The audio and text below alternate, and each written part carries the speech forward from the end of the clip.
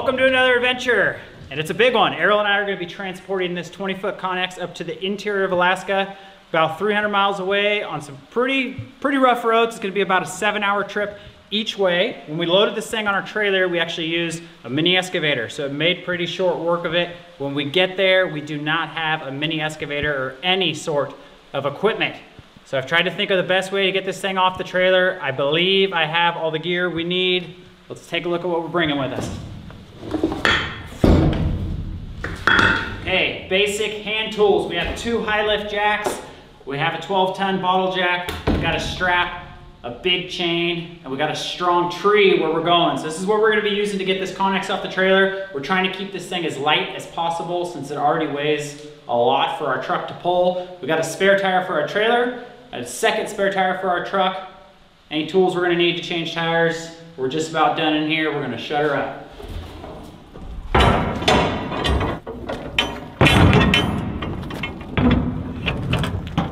So this may seem like a lot of work to haul a Conex, and it is. You can definitely pay someone to haul these things for you. In fact, that was the first thing we were gonna do. We called a tow truck company that hauls them, and it was gonna be $3,100, which was more than this Conex cost. So we decided to price it out doing ourselves. We were already using the excavator to work on our other property. We rented the trailer, we got it loaded up. We're gonna have to pay for gas and some things like that, but it's gonna be about half the cost for us to haul this thing up there by ourselves. We're ready to hook up the truck. Let's get the Tundra hooked up to the Conex.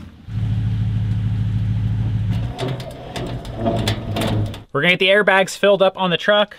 It's an aftermarket part. This one has them on the back axle and they can hold 80 PSI each. The back end of this thing is sagging pretty good with this heavy load. We're gonna start with 50 pounds. These airbags are pretty cool. They give you a better ride and they're gonna level out the back of the truck. You can actually see the truck move up when I put air in these things.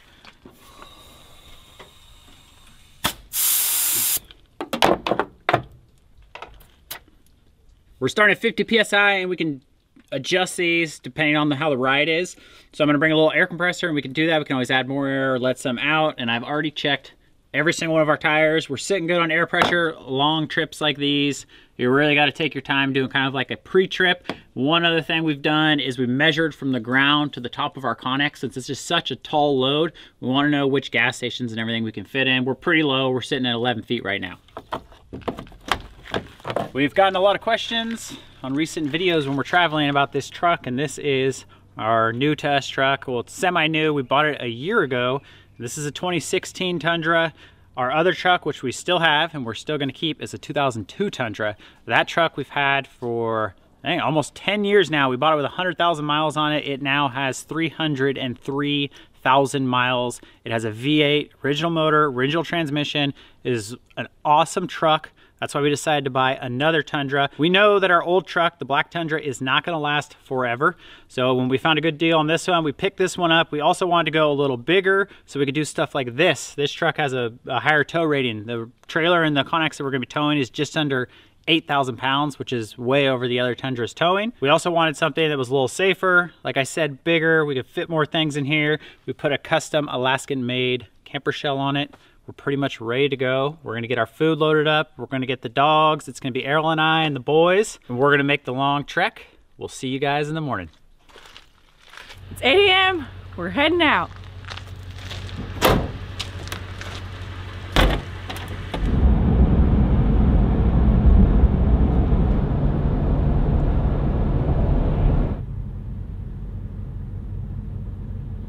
First stop, we're at the tire shop, unfortunately getting a tire fixed.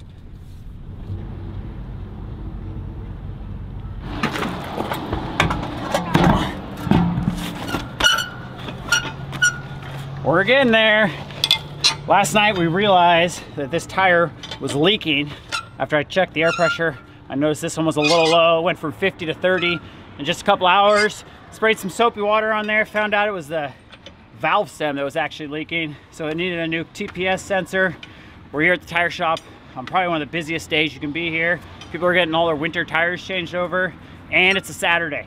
But they got this done about an hour and a half. We're almost ready to hit the road again.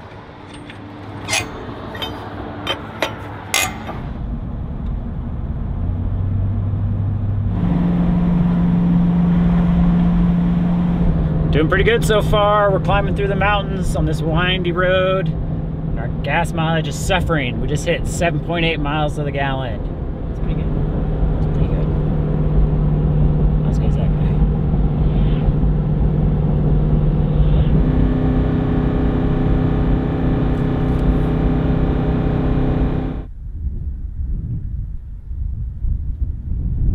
Come on, Bo, you can do it. Okay, it's our second little pit stop, letting the dogs out and run around, and I found I, what I believe is a shaggy mane mushroom.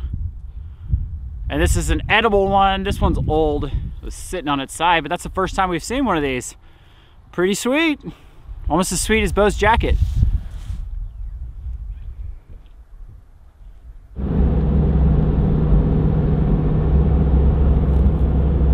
Five ninety six here. Oh, I thought it said 556. 596? Oh, good thing I'm just topping us off though. Dang it.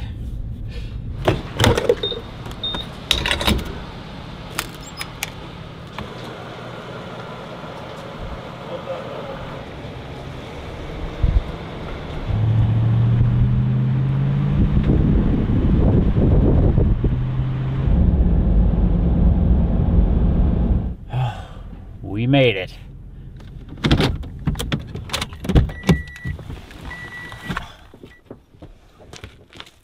Okay, we got here just in time. Exciting stuff. It took us a while. It took us a long time because we made a lot of stops and we were driving very slow. Eric safely got us here with our Conex and there was three parts of this that were challenging, loading it up, transporting it.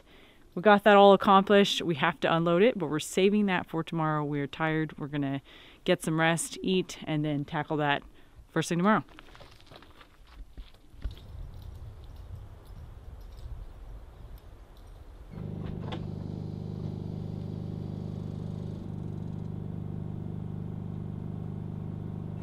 Good morning! You might be wondering where Eric and I are at right now. I know we have been a tad secretive up to this point, and we are going to walk you through what may potentially be our new cabin. And it is actually our new cabin and our new property, but I'm not certain if we are going to be moving here in the future or exactly when we would be moving here or anything like that. So I want to give you a little tour. Very exciting stuff. Eric and I actually looked at this property last year. It's been a long process and we're finally up here. We've been here a few times before, but this is going to be our longest stay. So we want to show you around. Bandit's already settled in and so is Bo. Just the dogs with us on this trip. No, no Pepe Le Pew. This is a super small cabin, just like ours back home. It is a 20 by 25, I believe. It is D-log, so it's absolutely beautiful. The construction is honestly immaculate. It's it's gorgeous, honestly, from the outside in and on the inside too. There's a lot of things that are actually very similar to our house, but then there are things that are quite a bit different. So we're gonna go over that. But this is the general layout. So it's one big open room. It comes complete with the awkward door entrance. Unfortunately, we don't have like an Arctic entry or anything like that. That's something in Alaska or a lot of cold climates, maybe even tropical climates, I don't know, that would be very useful because you come right in and bam, you're already in the house. Here's the kitchen. Pretty cool, but it's really nice to have somewhere to put like all your boots, your jackets, all your gear. And this house doesn't quite have that. Neither does our one back home. So we just make it work. You will immediately find something different that we don't have at ours, which is a glorious kitchen table. This is really nice. Eric and I already sat down last night and had dinner. We actually don't sit down all that much to eat at home. I know that bamboozles some of you out there, but we, we don't mind standing to eat or we do sit on our couch. But this, this place is pretty cool because it does have a table. So we've got the kitchen back here. This property already has a well. It is completely off-grid, just like ours, except for we're running a generator right now. That's how it's set up. They don't have solar here, so that is definitely something we're gonna be looking to in the future. There's a full-size oven. Eric gets a huge kick out of this. Uh, I don't know if it's gonna work right now, but there's a light. There's a bunch of stuff here already that you're probably noticing. In, in Alaska, it is really common when you buy a property or a cabin that they come with furniture or some of the person's possessions and food and various things like that. So there's a lot of like plates and food and stuff like that here that the owner left us. We've got some beans in there, some tuna. Of course, most of it's expired as per usual. The kitchen is one big long countertop, which is pretty cool. I feel like there's a lot of counter space. The cabinets are really gorgeous in my opinion. I don't know what kind of wood they are, but they're outstanding. And back over here, you will find something pretty neat. Eric and I have lived out of a ice chest as our refrigerator for four years and so did the previous owner. So they were actually part-time here. They weren't full-time, but they have a little ice chest as their refrigerator, which is funny to me. So it's perfect. We're gonna walk around to this side of the cabin. The dogs' beds are here already. We have a fireplace. It's a Blaze King. I think it's a Guardian is what Eric was saying. I'm not quite sure of all the specs on that. Eric did a little bit of research. We think it was put, we think it was built in like 2010 or something like that. And this thing is powerful. It actually puts so much heat off that it kind of warped the floor a little and it's really difficult to even stand this close to it. But it did keep the embers overnight, which is awesome. Ours back home doesn't do that that quite well. Because this house is just like one continuous floor, they don't have a loft, so the bedroom is not upstairs kind of like ours at home, which is really nice. That's where our computer workstation is. That's where we keep a lot of our clothes. And it's just kind of nice because that area doesn't have to always be like put together. This is the bedroom down here. So there's the a twin, a full-size bed right there. And I think that the person would just kind of close their curtains like that. So pretty neat. Ideally, I would have a loft, but this house was just not built with a loft. But it was built with the crawl space we're not going to go down there today, but there is probably like a three foot, maybe four foot crawl space down underneath the house. It has that foam concrete foundation down there. There is also a little Toyo stove in here and that's hooked up. I believe we can actually use that. The previous owner didn't use that, so there is no oil in the tank for it right now. That's definitely something we'd probably be looking to use in the future. They used massive logs when they were building this or crafting it and I'm not quite sure where they came from. I think they probably came a little bit further from this actual region. The trees aren't quite this big, and if there were, there's not that many with that big of a girth. This is probably the best part of the tour. Pretty amazing stuff. There's actually an indoor bathroom at this cabin. I don't, is there a light switch in here? Oh yeah, we can turn that on. This house has a water heater and a pressure tank, little sink, little shower, and a toilet, of course. Everything has been winterized. Eric and I had that done because this area is getting really cold temperatures already. They're quite a bit colder than where we're at or where we're located actually. Since we will not be up here this winter, maybe we'll make trips, but we're not living up here. We needed to have it winterized. Otherwise you definitely risk I mean, you probably would have major damage to some of the pipes and things like that. This room right here is kind of amazing. We are used to an outdoor shower. We don't mind showering outdoors, but because it's colder here, this is definitely gonna be really nice. There's like a massive mirror. There's an actual bathroom here. Back home, we use our kitchen as our also our bathroom. So it's, it's kind of interesting. So when we walked in and saw this light in this huge mirror, we were both kind of like, whoa, what's going on here? we didn't even know what we looked like anymore. There's awesome views out of all the windows. This particular place is amazing because it is on a very large lot. It is on 40 acres, so that's massive for me and Eric. I'm sure you've heard us mention space. We're limited on space, you know, limited because of this reason, such and such. And so I feel like this place is just like the sky is the limit with the land, so to speak. Obviously, the, the cabin is a little bit smaller, but we are both used to living in a smaller space. So this one, I believe it is actually a little more square footage than we have back at home, or maybe it's really comparable with the loft and the lower floor. So we're, we're fairly used to it. This is a very exciting time for us. We're having a lot of thoughts and things we're thinking about, plans we're talking about. So we will see how things go through. I don't exactly know our exact time frame of when we're going to be starting this transition, but that's the plan, that's the hope. And we're just really, really thrilled and excited for this. Earlier this morning, Eric found out where he wants to put our Conex, so I think we're gonna head outside and do that and give you a little look around the outside of the house too.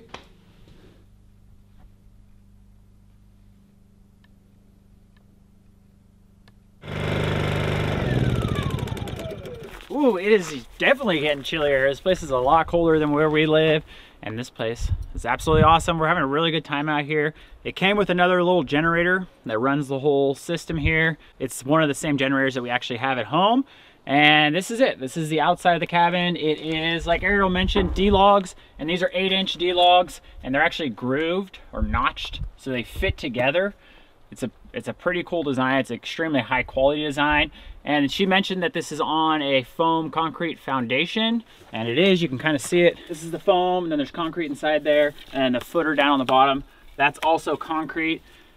Our cabinet home isn't. It's up on piers and beams. And this is gonna be superior for insulation and being able to actually have a crawl space that's kept warm when you're running like water lines and anything you wanna put in there. So it's pretty cool. It's definitely a nice solid foundation. When you're walking around this house, it just feels like extremely solid. There's not much that's here. So there's the little cabin. Oh, we have our propane tanks here. These run the uh, hot water heater in there. It's like a traditional hot water heater. We might change that out for an on-demand one. And then these run the stove. And then back here, the only other things we have, which are actually really nice, is we have a wood shed, which is almost full of wood. And then we just have like a big shed. And that thing's awesome. They're both awesome. And they're up on skids. So we can pull those around and we can move them wherever we want to put them. And we found where we're putting our Conex, at least for now. So now comes the challenging part. We're gonna hook it to a tree and see if we can pull it off the trailer.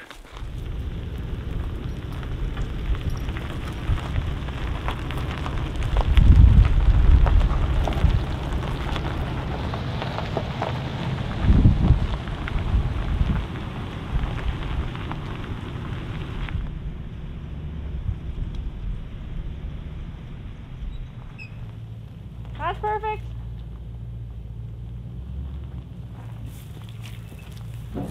I thought you meant that other quick ass fruit. That's what I was saying. Take all this out.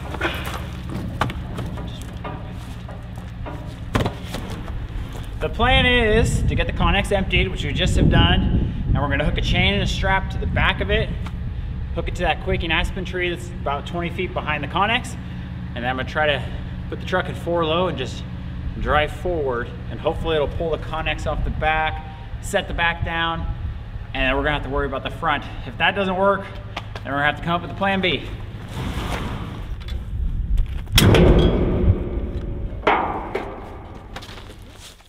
I really think you should. In.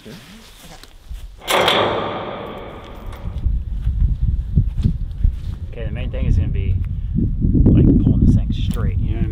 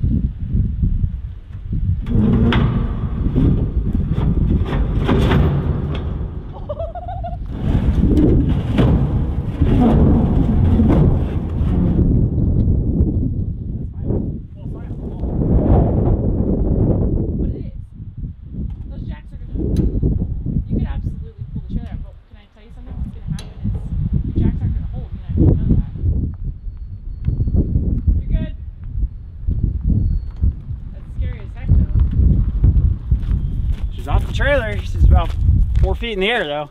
These high lift jacks are awesome. They can lift, I think, 7,000 pounds each, and we got two of them. But they're tippy once you start getting them really high like that. So we're gonna try to just lower it, lower it, one click on each side, get it down.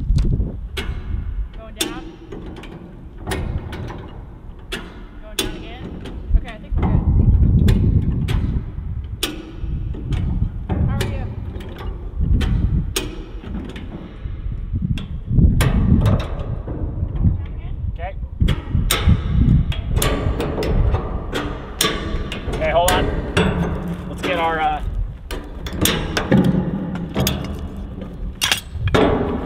We did it!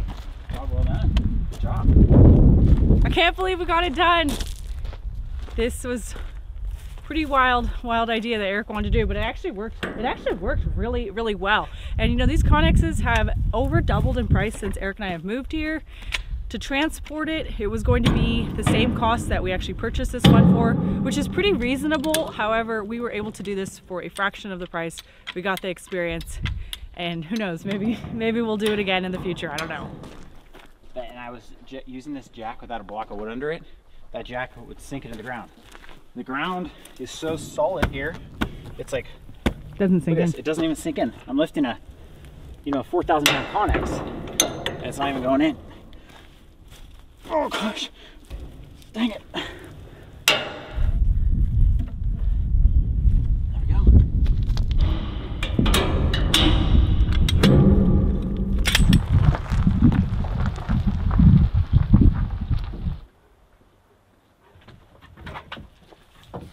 Wow.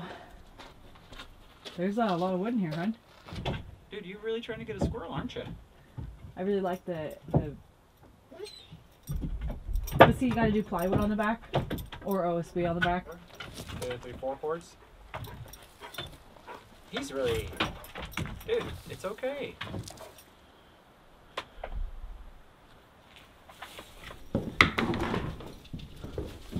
It's kind of dark in here.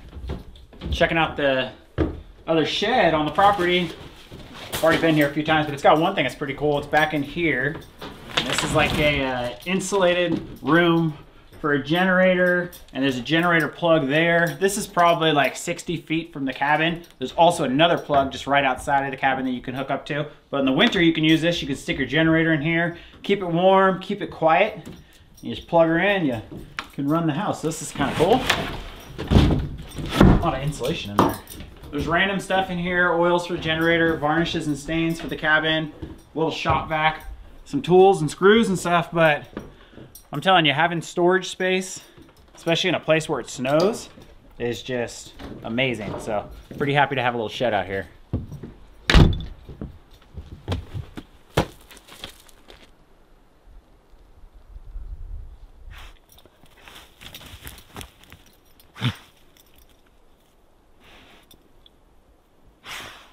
Bandit's shoving his face in the ground. He found out where some squirrels have been going underground or stashing their food or something. This is a extremely cool property. We really like it here. A lot of it is dense forest, kind of like what we're in now, like a spruce forest.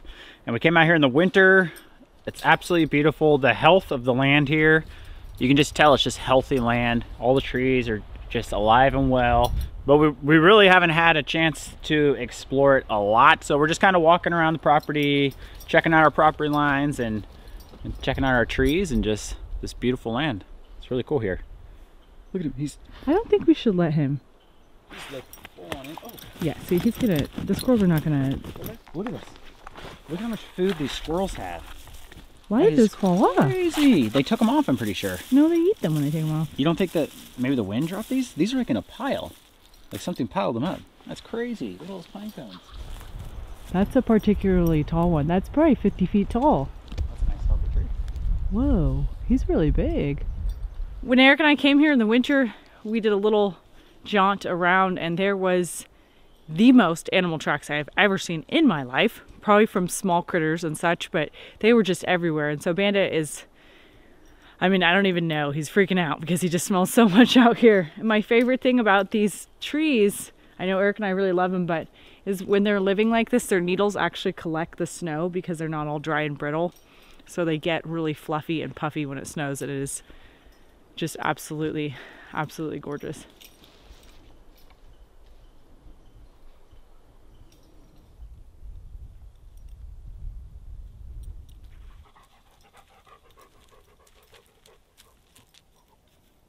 I found a really cool spot over here.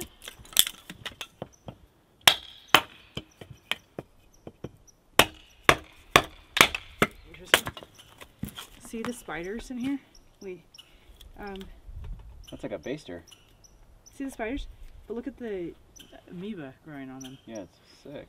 Isn't that weird? That's a really cool pond. That's what I said too. I could use that to change my oil. Whoa, is it actually meant to be tie-dye or did Yeah, they it's like swirled. That's an old turkey baster. Yeah, you don't have to use that for Oh, he's right there. basting turkey, right? You hear him? Oh, I see him. I see him.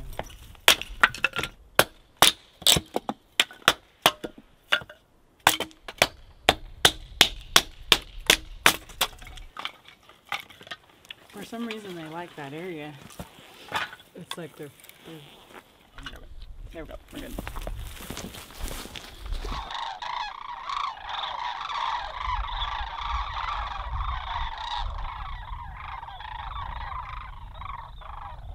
okay. That's, that's a considerable amount. Oh, you know what I found out there? Uh, chimney sweep. Oh, it's a control. Yeah, two of them with all the extensions and everything.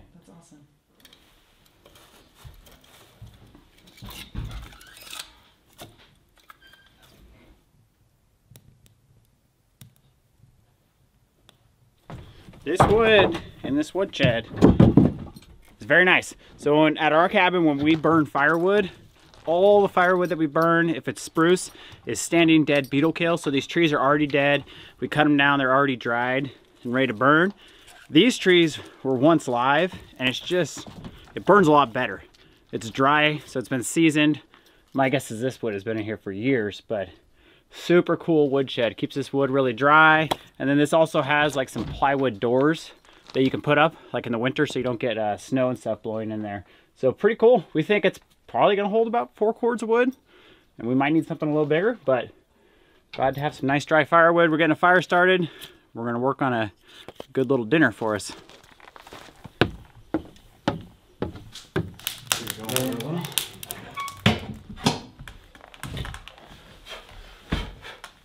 This little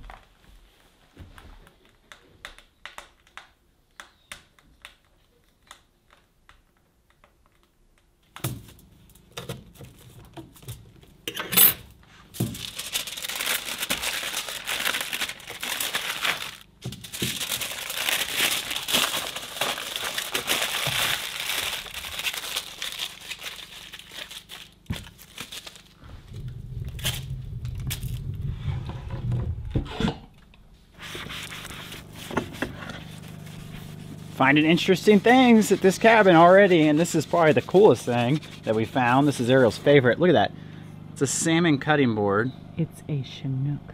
it's a chinook. It's got i don't know if that's like cast steel or something. You got the head and the tail. I think it's awesome. And this is awesome because Arielle's fixing dinner and we didn't bring a cutting board so this is gonna be great. Get it cleaned up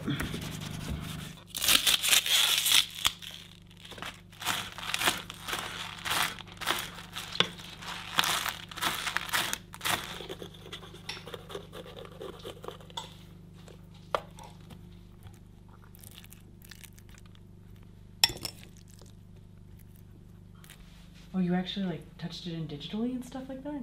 Yeah. Whoa. I'm freaking out right now. You're using electricity to do this? No. Oh. Yeah. I believe to use the oven, you need electricity to electronically do it. But to use the stovetop, you don't.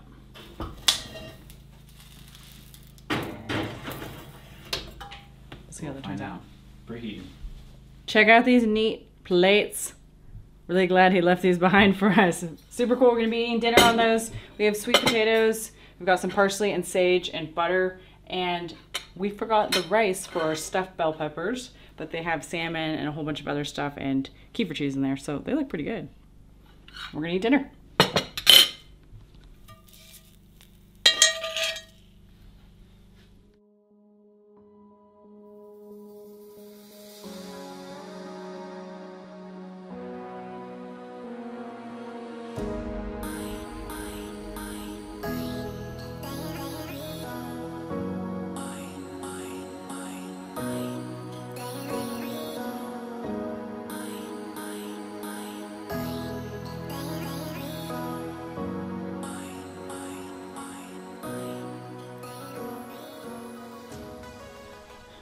Well, good morning. It's our last day at the new cabin.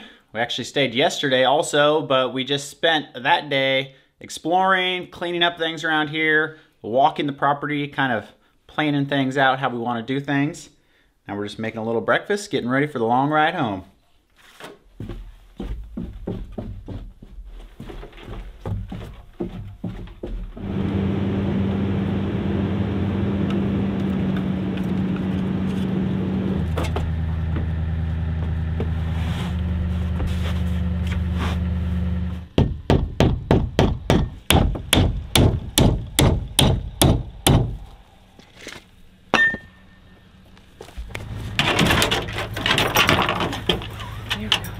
Here we go. Everyone's in. And it. We're all ready to head out. We had a nice trip up here. I'm glad we spent that extra day. I think it's gonna be an easy trip on the way home. It's still very long journey, but we don't have the Conex with us this time. We do plan to come back out here this winter. I don't know how many times it'll be. And I also don't know our future plans for this place and all of our other places, but we're very excited about it and hopefully we will be out here sooner than later. We'll see you next time.